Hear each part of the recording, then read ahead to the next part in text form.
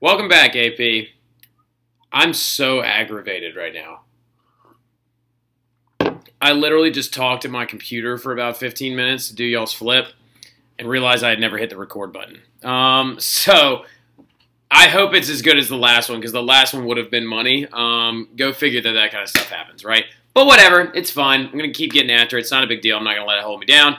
Uh, so let's talk about nation building in Prussia, right? So we've already come off the heels of talking about the nationalism movement in Italy under Garibaldi and Cavour and Victor Emmanuel and the idea of like we're going to start up here and down here, meet in the middle, and don't piss off the Pope, right? So we talked about all that stuff. Now we're getting into the nationalism movement in Prussia. So we already wrote this down yesterday, talking about the Zollverein, the customs union, the idea that a unified Germany had started way, way before all this. Like in 1834, the seeds of nationalism in Germany had already long been planted, right? So out of the 1848 revolutions, the chaos of 1848, where over 70 different revolutions broke out all over the continent, uh, the Prussian uh, government is going to develop a very small parliament with an upper and a lower house, right? So much like ours, that has an upper house being the Senate and the lower house, the House of Representatives, they are actually going to develop a small little parliament and kind of develop what you could consider kind of a liberal state, right? An idea that uh, the Kaiser is going to be under slight bits of control from this parliament, right? There's going to be voting rights. There's going to be a lot of different stuff. But Wilhelm I, Wilhelm Hohenzollern, was actually inspired by the national revolts in Italy, inspired by the unification of the Zollverein, inspired by all these things to say, you know what? We need to nationalize too. There can be a German state. There can be a German empire, even. He has these dreams of it, right? So he wants to nationalize, though, because he realizes the number one thing he's going to have to do is kick all these Europeans out of the German Confederation. Write that down somewhere. The German Confederation was loosely controlled by other European powers. You've got Denmark all up in your business, you got Austria all up in your business, you got France all up in your business. So he says we need to double the size of the army by raising taxes. Well, the parliament though is mostly made up in the in the German state right now out of mostly middle-class liberal citizens. And liberals hate a lot of different things. They hate militarism, they hate no suffrage. They hate voting rights only for property owners. They hate raising taxes to try and finance wars. They hate crowns, right? Liberals don't like crowns. Liberals like the idea that a constitutional government rules over everything that is voted on by the people. So, what he decides to do, Wilhelm I anyway, decides that just like Emmanuel elected Cavour, I'm going to let my own guy, Otto von Bismarck, as Chancellor of Germany, right? These two guys, but mostly this guy, is going to unite Germany together in grandiose fashion, right? Now, speaking of they did it anyway, that's what they're going to do. They are going to raise taxes anyway without the consent of the parliament. They're going to raise taxes, they're going to double size the military, and they're going to do it because they said, you know what? I feel like it. So, anyway, this guy right here, Otto von Bismarck, do not write this or this, just write these two, okay? Now I'm also changing the title to like cross out Prussian unification, but Bismarck's unification, right? So he probably is one of the most important people in all of German history. When you rank the top three, it goes. Now, some of y'all are going to get a little skeeved out because I said Adolf Hitler is important in their history. Well, he is. He's the most number one groundbreaking game changer in a negative fashion in German history, right? And then you got Otto von Bismarck right here, and then Martin Luther underneath him, right? Those are like if you're big top three guys, okay? So a lot of people dis- debate this, though hero or villain, right? Some historians believe he's a villain because he tries to go over the head of the liberal class, right? Come here, baby. And a lot of other people believe that he's actually a hero. Like Mr. D'Antonio, for example, believes that Bismarck is a straight up hero. Give me that, believe me. Mm. So, he actually like is I consider him to be a very big hero, uh, an instrumental force in nationalism movements within Europe. I think he's an absolute stud of a person to study. So he actually hates the idea of the parliament ruling. Period. But he's also got no intentions of being Kaiser. All he wants to do is unite all Germans under one flag and one group and one credo, one language, one genius, one ah, one Germany, right? So he decides that he wants to return to the old monarchy, monarchy ways But he wants one that's like Machiavellian in a sense. He wants one that's approved by its people, right? He wants to try and find a way to make a state that's going to become powerful. And he's going to do it in less than 10 years, right? So, one of his most famous quotes to come out of this is actually from a speech he gave. It's called the Blood and Iron speech, right? So, actually, a lot of historians call it Blut Because that's how you say it in German. I don't know why I said that aggressively. You can say German things really, really nice, like Blut Eisen. So, now, he said in his, uh, get out of that trash. Um, sorry. Uh, so, he said in one of his fam this famous speech, the great questions of the day, when he's talking about that, he's talking about German unification, will not be decided by speeches and resolutions. They will be decided by blood and iron. Now, in parentheses next to this, you can put on the other side, you can be like, obviously some wars are on the way, right? So he realizes one of our first steps in unification has got to be to get all these other Europeans out of our, like, out of our area. Get them out of here. So what he decides to do is he's going to make the Danes the first example. So, you don't know this, but Denmark owns two little places known as where that's not it. That's not it. Oh, there it is. Two little places known as Holstein and Schleswig in the North German area, right? So remember when the Holy Roman Empire fell out and there were like 900 different principalities and a lot of the other Europeans were like, oh, I got this one, I got that one, got that one. They just started grabbing them up. Well, the Danes grabbed up Schleswig and Holstein, right? They're two North German provinces. Very, very wealthy, very, very strong. And do some Danes live there? Yeah, sure, some Danes live there. But do a lot of German landowners live there? Uh-huh. So, the big thing about it is the Schleswig and Holstein provinces are borderline feudal still, right? So the Danes decide to try and take advantage of all the money coming from these German landowners. We're going to rewrite a constitution that brings them into our country in totality. So they will become Danish states, okay? Well, Bismarck takes massive offense to this and he tries to prove himself with the Second Schleswig War, right? So he calls up Austria and he's like, yo, you want to get rid of some Danish people? And they actually respond with a positive and resounding yes, okay? So Austria goes in there to help them out and to strip these two provinces away from the Danish. Mm. Now, the Danes tried to bring them into their country, and then they're going to lose in a war that lasts only nine months, right? Now, all three wars that he went into, bang, bang, quick ones, right? The Austrian one's laughably short. Um, now, though, he's got a problem. So he gets rid of the Danes. The Schleswig Wars takes no time at all. Holstein and uh, Schleswig like belong to German-speaking people again. But now he's got an issue. Now he's got an issue where it's like obviously German unification is on the way. Are we going to seek a greater Germany or a lesser Germany, right? The greater Germany would be the idea that Austria is at its reins, right? The idea that, uh, no, excuse me, that Prussia is at its reins. The greater German idea would be Prussia holds the reins of power. The lesser Germany idea, according to Bismarck, is that Austria holds the power. So according to Mr. D'Antonio, who said it so eloquently the other day at lunch, the unified Germany was coming. All right, especially after the Second Schleswig War, right? Everyone knew it, everyone saw it, everyone saw it in the like tea leaves, if you will. A unified Germany was coming. Well, he wouldn't say coming; he would say coming. But yeah, but he said a unified Germany was coming, no matter what. But now it's about deciding who's going to be in charge the greater German idea with Prussia or the lesser German idea with Austria. Bismarck's about to prove that it's going to be Prussia. So he starts the Austro-Prussian War. Now some of you are like, why would you do this? They just supported you. Yes, they did just support them, but then they didn't want to back out of, like of some of these other German states. They wanted to keep their hands in them, right? So the Prussians are like, we're going to remove you from North Germany altogether, and we're going to remove the Austrians. Y'all stay down in the South German area where you like belong, and stay down there with all the other Catholic states like Bavaria, right? So the Austro-Prussian War is somehow also going to be linked to religion and localization. Now, a lot of historians link it to religion because the Habsburgs are still devoutly Catholic, whereas the North German Confederation is still devoutly Protestant and Lutheran, right? Also, a lot of people are like, well, heck, the Quadruple Alliance included uh, Great Britain, uh, Prussia, Russia, and Austria. Where was Great Britain and Russia in this whole thing? Why didn't they support somebody? Well, the British are kind of doing their own thing right now, and they're sitting on their island reaping the benefits of industrialization. They're just like, ah, go away. We don't care, right? They're the island. They're not the continent, so they stayed out of it. Also, a lot of people believe that fear of just this growing continental powers were freaking them out a little bit, so they just stayed where they were.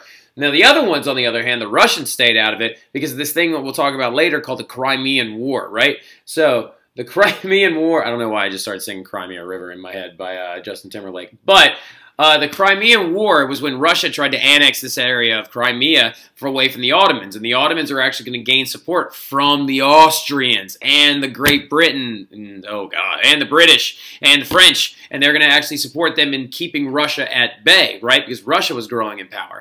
So the fact of the matter is, is Austria, you, they just fought a war against the Russians. They're not about to support. Uh, they're not about to get support from the Russians. Now, other people are like, well, wait, French is Catholic. Why don't the France French support Austria? Well, the French just supported the Italians in a war against Austria to remove them from North Italy. Not to mention the fact too that the French had just used a lot of resources in supporting Italy, so they're not about to do that either.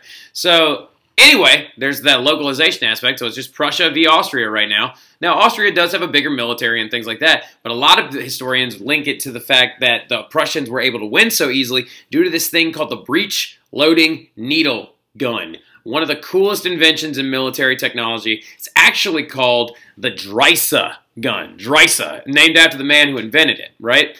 The Dreyse gun, as seen right here, is the first successfully battlefield-tested bolt-action rifle that the world had ever seen. Now, some of you are like, oh, modern weapons are on the way. This sort of, right? So the bolt actually comes back, and you have a paper bullet, right? A paper bullet cartridge. So there's a metal bullet on the inside of it, shaped like an acorn, and the barrel of this bad boy is rifled, which is another big-time development, right? Excuse me. You take the paper cartridge, you pull the bolt back, you slide that thing into the barrel from this position, okay? Hit your bolt back, go down, pull the hammer, up, bang.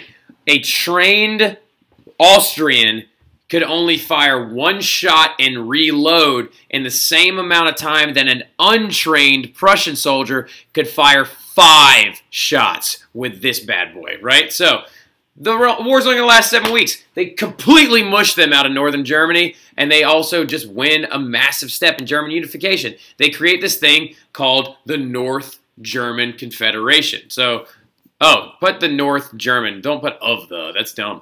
Now, Austro-Prussian War. Prussia is absolutely going to overrun the Austrian Empire and push them out of the North altogether and force them to accept an armistice. Now, in this armistice process, some of you are thinking, are they going to be chill about it like they did with France after Napoleon, or are they going to be jerks about it? They decide to actually give them a generous one. They don't force Austria to pay any reparations, so they're like, look, you lost. Just go home, all right? So, they're like, we're not going to take any territory from you either.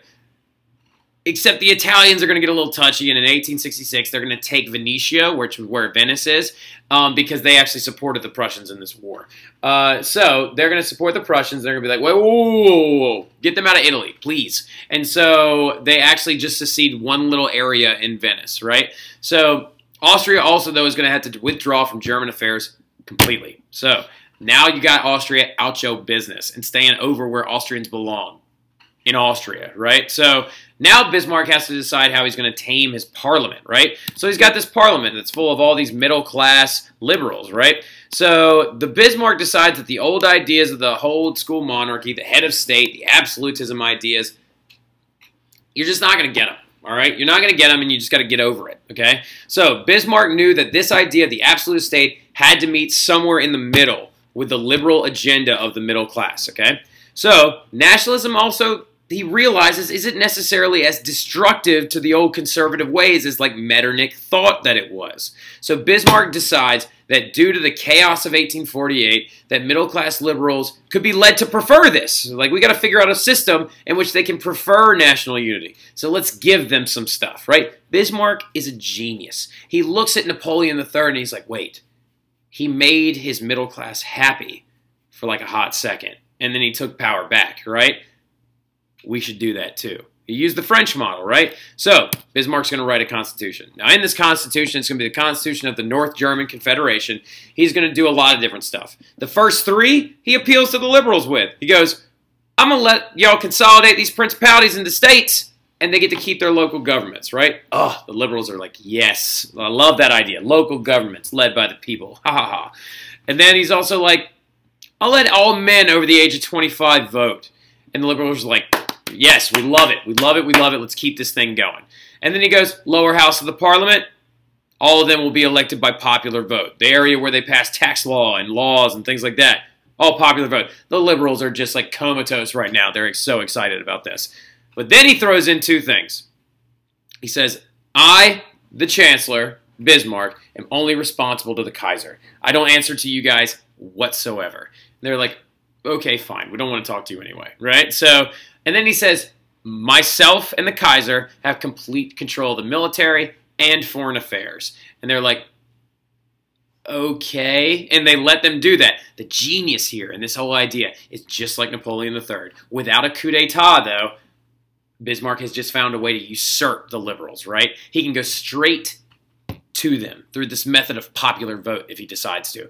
Also, he can go straight to them through the military, right? Because remember, the common people love military victories, right? So the idea is that he's beating up all these people The common people are going to jump on his boat anyway. So all the real power now lay with Prussia, its Kaiser, and its military. So now you've got to try and come up with a couple other things. One of his first steps is he gets them to pass a law called an indemnity bill that forgives them for their sins. Remember when I told you that they raised taxes anyway and doubled the size of the military without asking the parliament? They get them to pass a law that says we were okay with that.